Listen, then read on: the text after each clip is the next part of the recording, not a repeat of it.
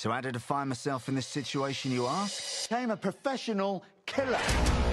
And yeah, it's a dirty job. But I'm happy to get my hands bleeding filthy for the right price. Needed to keep my head down after what happened back in London, so I grabbed my fake passport and hopped on the first flight to anywhere, which turned out to be Malta. There's more people need killing in this corner of the world than I can keep up with. I might be able to help you out. This is our lab, where he trials all of his new techniques and where I can have a bash at seeing if they're actually going to work in the real world.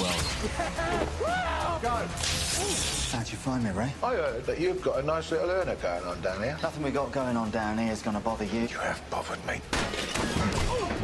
No pain, no gain, eh, mate?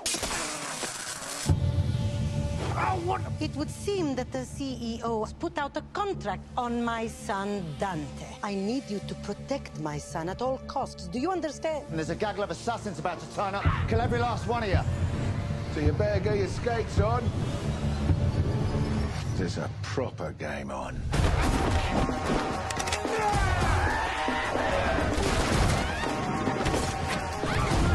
Keep him alive. Your mummy just hired me to protect you, okay? Ah, I'm not safe with you. You are a magnet for psychos. You look like melted Ben Affleck.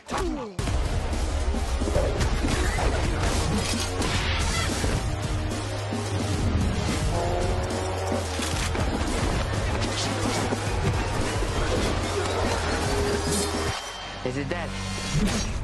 He is now. Right, Mike. Nice weekend. Not really, mate, no.